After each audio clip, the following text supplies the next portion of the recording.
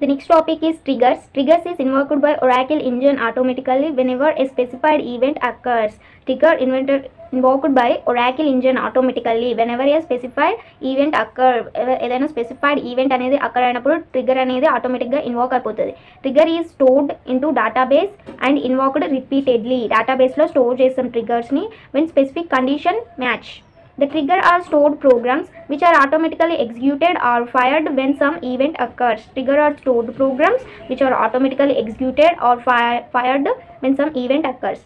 Triggers are written to be executed in response to any of the following events. The first one is a database manipulation.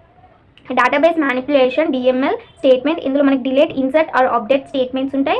And database definition డీడీఎల్లో మనకి create చేసాం alter చేసాం drop చేసాం alter means adding and database operation server error log on log off startup shut down ఓకేనా